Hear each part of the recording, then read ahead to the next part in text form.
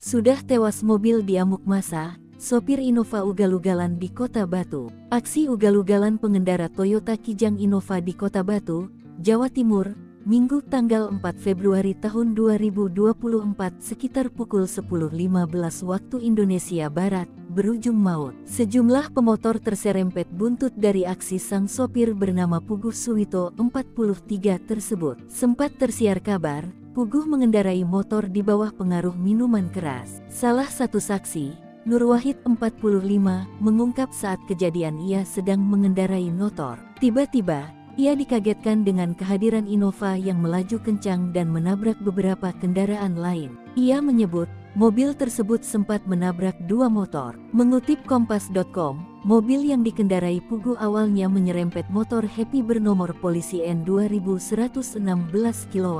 Pengendara motor itu pun kemudian terjatuh. Sopir Innova yang diduga panik memilih tancap gas dan kabur. Petugas polisi yang menangani kasus ini, Ibda Henry Setiawan, mengatakan pengemudi mobil Innova tetap melanjutkan perjalanan dan dikejar oleh pengendara motor. Selanjutnya, mobil tersebut menabrak trotoar dan oleng sebelum menabrak gapura.